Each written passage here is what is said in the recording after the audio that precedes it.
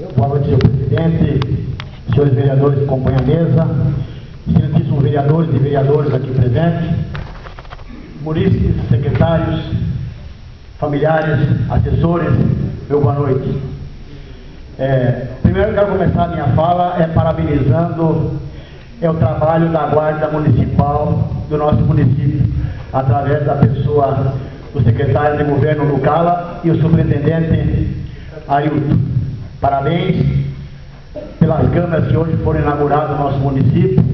Lá tivemos com prefeitos, secretários e vários vereadores e pudemos ver lá o excelente trabalho que vem fazendo no município. Hoje o nosso município é um Big Brother.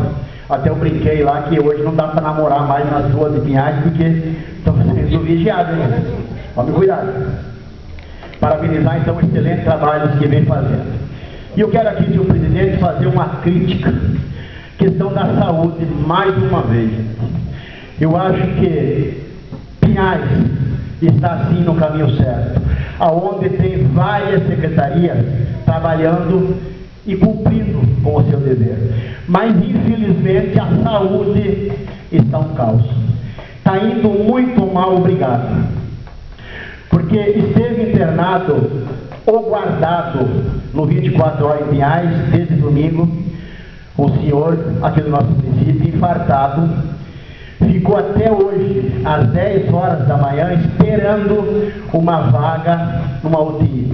Nós trabalhamos com a nossa assessoria, o Pioco, lutamos ontem, o dia todo, à noite e hoje. Às 10 horas conseguimos a UTI no Hospital Angina Caron.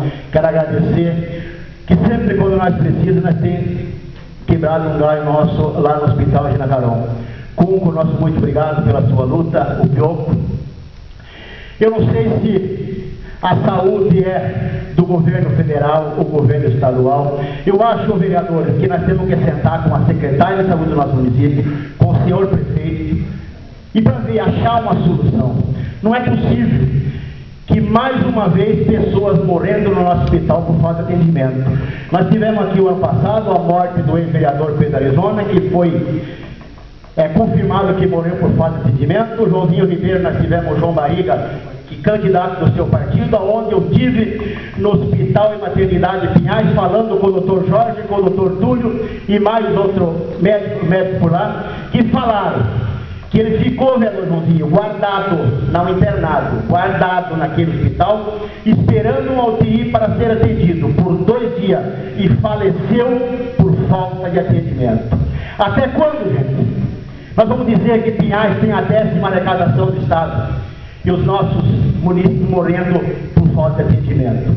Nós tivemos aí há poucos dias um encontro de prefeito do estado do Paraná, aonde teve Pinhais, Pinhais ficou reconhecido no Brasil inteiro até mundialmente, por 322 prefeitos que estiveram na nossa cidade.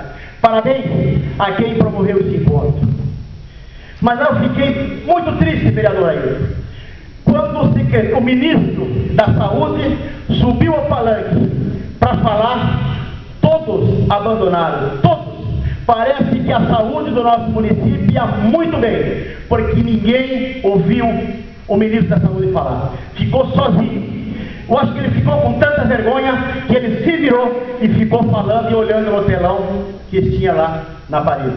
Eu fiquei com vergonha por ele, porque todos desceram. Eu fico chateado, mas muito chateado. Que o município hoje, como diz o nosso prefeito, está fazendo um excelente trabalho. Eu estou aqui, presidente, não fazendo uma crítica, fazendo um alerta para que nós, vereadores, secretária da saúde e com o senhor prefeito e achamos uma solução.